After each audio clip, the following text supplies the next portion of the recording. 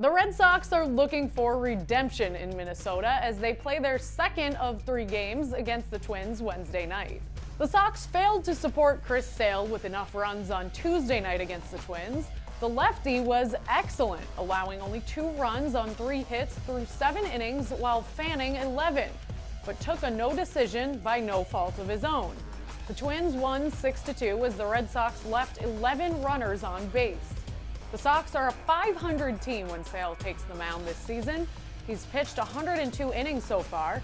In them, the team has produced just 53 runs.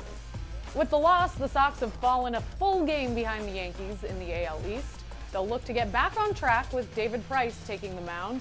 Price has been stellar, going 6 0 with a 2.64 ERA in his past seven starts. On the hill for the Twins will be Lance Lynn, who's struggling big time this year. First pitch is at 8:10 p.m. Pre-game coverage begins at 7 on NESN.